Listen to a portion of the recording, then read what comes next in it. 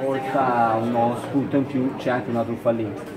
Sì, c'è stata anche una, una, serie di truffe all'Inps, una consumata e altra tentata che è stata bloccata soltanto perché i carabinieri hanno posto fine alla complessiva attività criminale era attività truffaldina parallela rispetto a quella di caporalato che era posta in essere dalle stesse persone.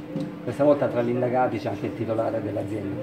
Sì, c'è anche il titolare dell'azienda, eh, in particolare proprio per l'attività truffaldina, perché partecipava a quella attività in particolare.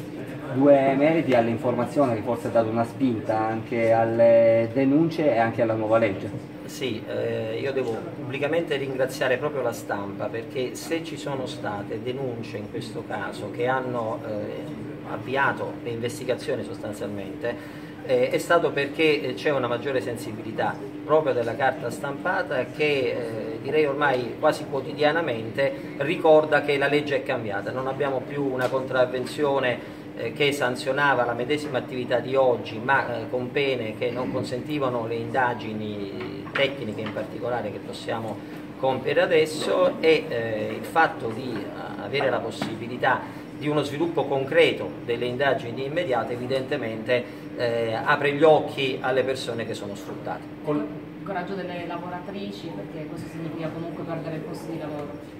Eh, nel caso in questione lo avevano già perso perché si erano ribellate allo sfruttamento. C'è da tenere presente che qua si tratta di lavoratori e lavoratrici che alle 3 di mattina erano prelevati da, a San Vito dei Normanni ed erano trasportate a Polignano a mare per una paga che al netto era di 40 euro al giorno per minimo 10 ore di lavoro, ma siamo arrivati a contabilizzare anche 15 ore di lavoro. Colpisce anche il fatto, insomma, la caratteristica delle donne nell'organizzazione?